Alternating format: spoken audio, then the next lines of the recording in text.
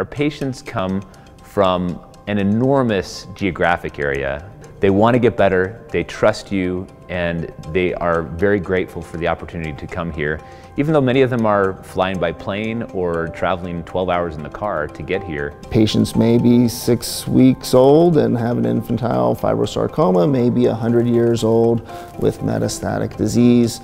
We see the entire gamut. That this is more than just doing surgery, that of course surgical skills are critical and you need to become comfortable with them, but we also really try to take the time to emphasize the science and the medicine behind sarcomas and see how we can treat these entities quite specifically. We round in the morning. We are involved in clinical coordination of care post-operatively and pre-operatively.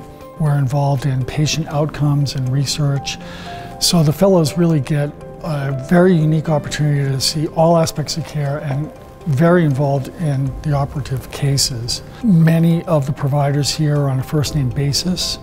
There's a great deal of communication amongst teams. Sometimes there are overlapping concerns for metastatic disease patients who have multiple comorbidities, complex care, sometimes extenuating social needs and other needs. We have a vast resource of professionals to network with to provide the very best outcomes for patients, not just their cancer diagnosis.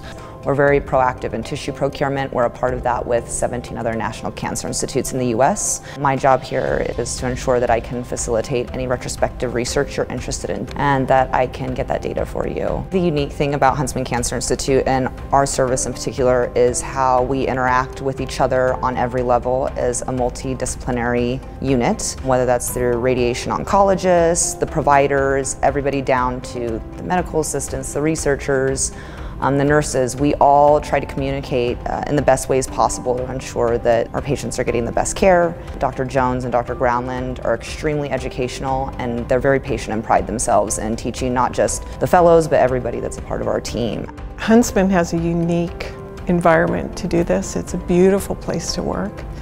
You folks can't see this, but there is this striking hilltop before the mountains that I'm looking at right now.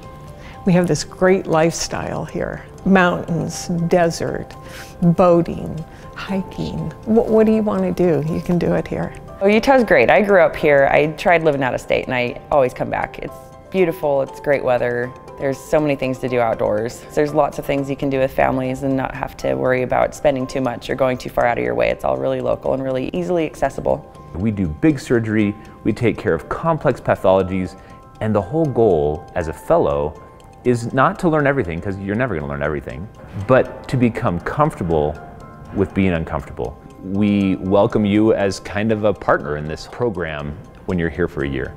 And so we work together with you to take care of these patients.